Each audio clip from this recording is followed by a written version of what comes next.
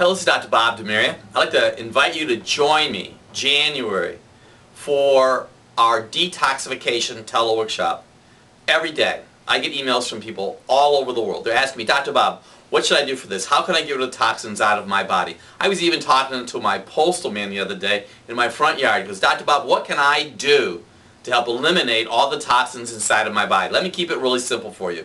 It's something as easy as Dr. Bob's ABCs. A half a red apple every day. Why a red apple? Because it promotes digestion, it promotes liver health. This apple will help your liver gallbladder. If you've had your gallbladder out, you definitely want to be on that detoxification teleworkshop because I had people that talked to me about they had their gallbladder out. It's very, very serious if you have your gallbladder out because there's a certain product you need to take forever.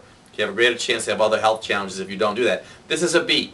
You should be taking at least and consuming a third cup of beets every day.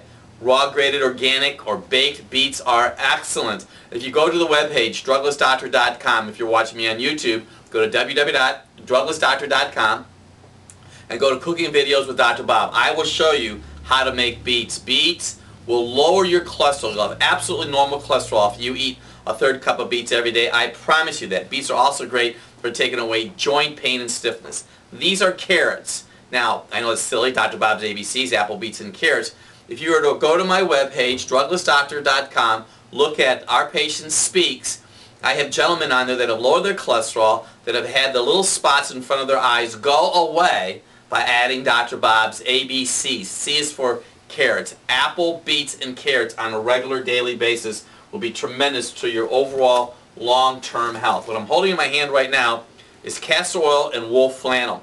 We encourage our patients for long-term, this is a long-term health strategy, preventative maintenance to help promote liver health. The castor oil pack, maybe once a week, once a month. The castor oil pack is a definite part of your long-term detoxification strategy. I have two herbs in my hand. This workshop is not about herbs, it's about getting healthy. But dandelion root. I take personally take five drops of dandelion root every day in water. I also take at least one milk thistle capsule on a regular basis. Why? because I'm exposed to toxins just like you are. Do you know the average woman puts 150 chemicals on her body every day? 150 chemicals. I'm sure that most of you have been watching the uh, TV lately and you've been reading the newspapers. You've seen that there's toxins in our water. We're going to talk about cleaning the colon out.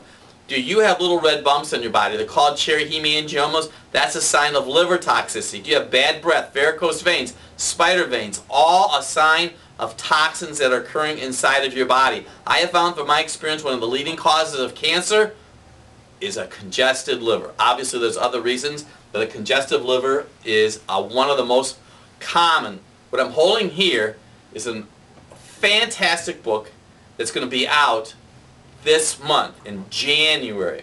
Now, listen close what I'm going to explain to you. If you make the educated decision to join me for this month. That means you only decide to be a part of this one month call. We're going to do something very special for you with this book. Go to the webpage for details.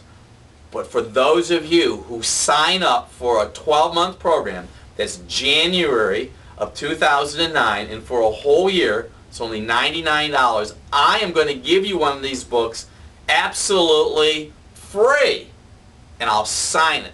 So when I am awarded the Nobel Prize, you're going to have an original Dr. Bob. You want to join me that night. Tell a friend. This particular workshop is a matter of life and death. Join me. I promise you, you'll be glad you did.